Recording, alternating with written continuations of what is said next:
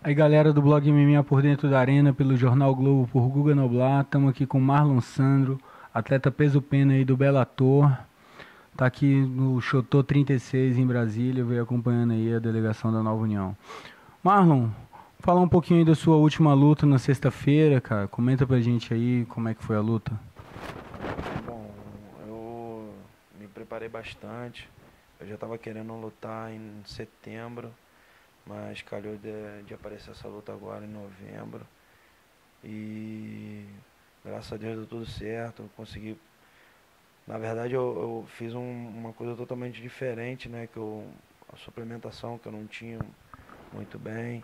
Aí eu procurei o ortomolecular, que é o Gustavo, e o Bruno, que é um nutricionista esportivo, e consegui consegui é, fazer isso, juntar a suplementação com a preparação física do Orlando e o Marola.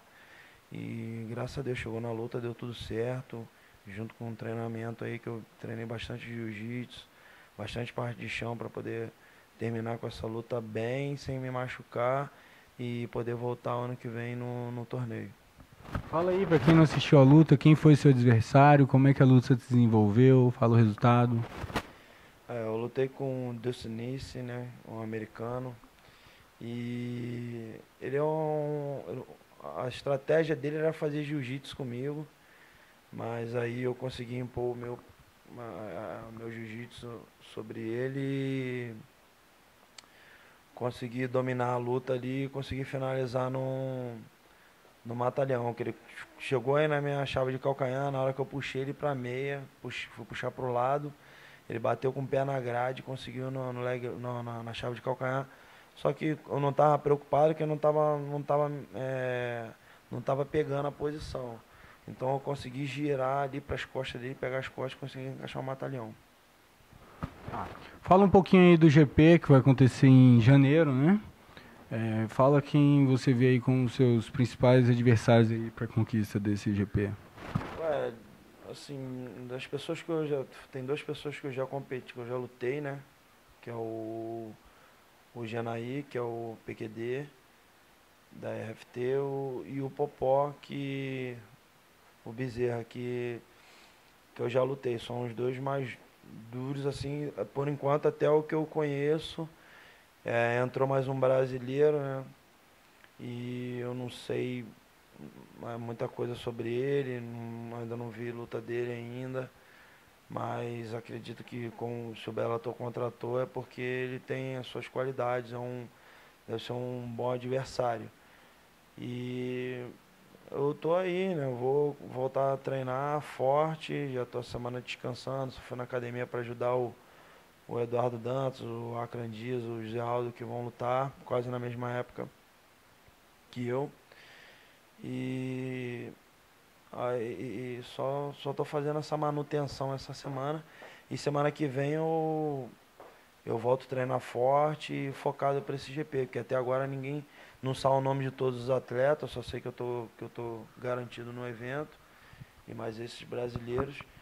E vamos ver, se Deus quiser, vamos voltar com a vitória e eu tô focado com a cabeça boa para lutar esse torneio e, se Deus quiser, trazer a vitória para o Brasil.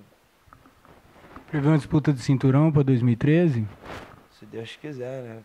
É, porque no Bellator funciona nesse sistema de você luta um torneio, são três lutas, quem ganhar o torneio se credencia a lutar pelo cinturão. E se Deus quiser, né, vamos lutar aí pelo cinturão e trazer mais um título aí, que já tem o Eduardo Dantas já no Bantamweight, Agora, se Deus quiser, no featherweight aí, eu trazendo também mais um cinturão pro Brasil. Bellator recentemente começou a transmitir suas lutas ao vivo em TV aberta no Brasil. É, você acha que isso aí trouxe algum benefício para você? Melhorou em alguma coisa? Ué, por enquanto ainda não, não, não, não tive benefício, assim, é, é mas melhorou bastante, melhorou um pouco, né? A, parte da, da na, na parte da mídia melhorou um pouco porque muitas pessoas agora no Brasil estão me conhecendo, estão sabendo quem eu sou, porque eu já lutei muito tempo no Japão e no Japão não passava aqui, só passava por internet. Então, quem, só quem entendia mesmo de luta é, que sabia que eu, que eu sou lutador. É, que eu já lutei muito tempo no Japão, que eu fui campeão. Na época eu fui o único brasileiro que tinha dois títulos de, de dois eventos diferentes. Entendeu? É, então, tipo assim, muita gente não sabia disso. Só que hoje em dia a pessoa já está conhecendo, já tem mais essa noção. Como está tendo Ultimate no Brasil, as pessoas estão procurando se ligar mais. E, e o, com essa transmissão no canal aberto, que é o esporte interativo, está ajudando bastante aí é, na nossa divulgação do pessoal do Bellator. O, o Bellator aí, ele está sendo considerado como segunda força do MMA, né? Você acha que existe uma diferença muito grande, uma diferença técnica muito grande entre os dois eventos? Ah, eu acho que a diferença, tipo, o Ultimate é um evento mais antigo, o Bellator é um evento mais moderno. E o interessante do, do Bellator é o, é o torneio.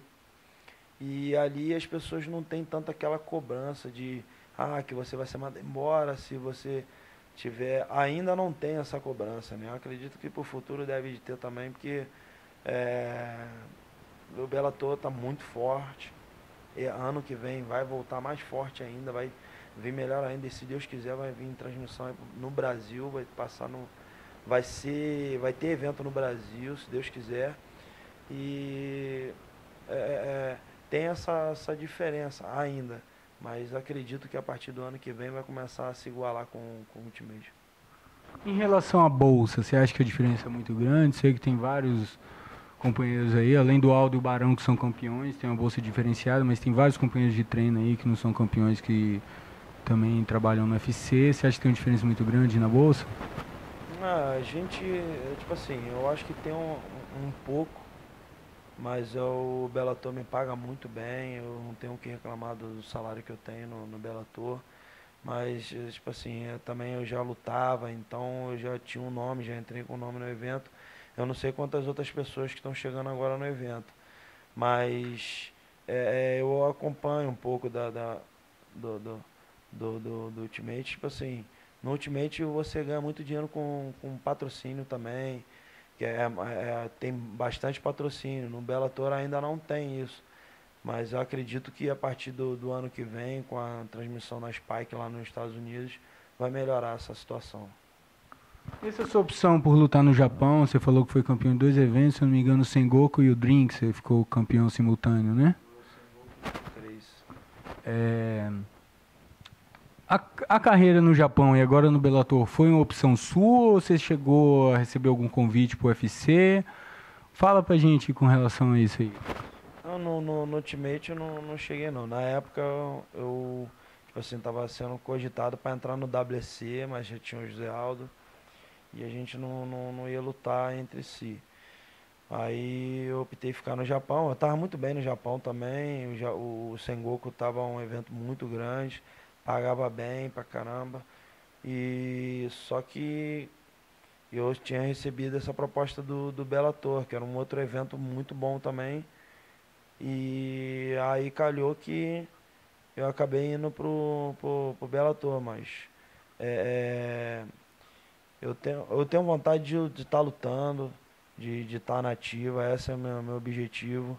Se eu, eu quero estar tá representando o evento aonde eu estiver, e, pô, e o Bellator me recebeu de braços abertos. Na época eu tava, eu tava, sem, tava meio desempregado e eles me aceitaram, saindo do Japão de derrota. Eu saí do Japão de, de derrota e, e não tinha muita opção para eu ir. E eles me aceitaram da forma que eu tava. Eu acho que eu tenho que representar minha bandeira. E minha bandeira no momento é o Bellator e eu tenho que, é, com todas as forças, eu vou fazer de tudo para crescer o nome dele. Se eles dependerem de mim, o, o, o Bellator vai continuar no topo o tempo todo. E você pensa em um dia lutar no UFC? Se recebesse um convite, você, você iria? No momento, não, não penso nisso no momento, até porque também tem o José Aldo, tem o Acrandis que são da minha equipe, que são da mesma categoria que eu, então eu não, não, não tô com essa ambição de ir para lá não. Mas eu não, não sei do futuro, também não vou ficar falando que um dia eu não vou. Mas foi o que eu falei, eu acho que você tem que dar valor a quem te dá valor. Então, se o Bellator tá me dando valor, eu não vou dar as costas para ele nunca. porque tá surgindo um evento, um evento maior e quer me chamar para lutar. Então eu não vou fazer isso, não, não vou dar as costas para quem pô, me deu a mão na, no momento que eu mais precisava. É isso aí, galera. Vocês falaram com Marlon Sandro, lutador casca grossíssimo aí da Nova União. O espaço está aberto. Você deixar um recado final para seus fãs, meu brother. É, primeiramente, eu queria agradecer a Deus, agradecer a todos vocês aí que estão sempre me dando essa força, esse apoio, entendeu? É, independente de qualquer coisa que aconteça na minha vida, estão sempre aí me apoiando. E, e vou estar sempre zelando pelo, pelo carinho de vocês e procurar sempre retribuir da melhor forma possível. Obrigadão aí.